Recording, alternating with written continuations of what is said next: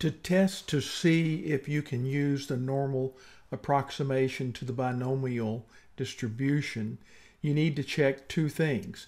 If n, which is the number of the sample, times the proportion p is greater than 5, and also that q times n is greater than 5. q, of course, is just 1 minus p. I've set up this little table in Excel. Here's an n of 1,000, and we're given a p of 0.036, which is 3.6%. q is 1 minus p, 0.964, and n times p is 36. That's greater than 5. Here I've used some conditional formatting to color those cells green if it's okay and red if it's not. If my sample size is only 100, you can see that n times p is now less than 5, which means it's not okay to use the normal approximation to binomial, and you must use the binomial to determine probabilities.